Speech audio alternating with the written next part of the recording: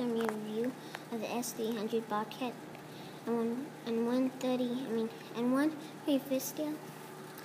Being from Auto 2. It says on the bottom of the model, and um, the cab on the saddle has very nice detail. Everything within there, hand controls and everything like that. And the bucket, it does come off really like that. And there's two good hooks. And they keep in right there. And um, you go down. Well, I'm going to do a review without it. And um, boom. It goes up that high.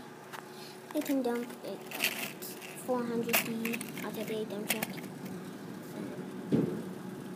Moving cylinders. Rubber tires, I think. Yeah, they're rubber. And um, and that's caviar. And the Bobcat elbow back there. And the bottom says auto there.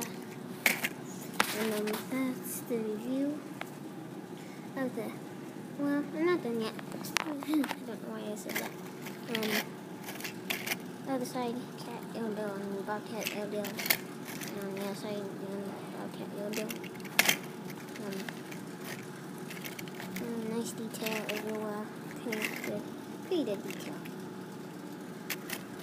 Cab is piastre function. No way I'll drop deep bearing detail. It's all just metal, kinda. There's detail there. See it, daddy. And um, you know what the butter doesn't on.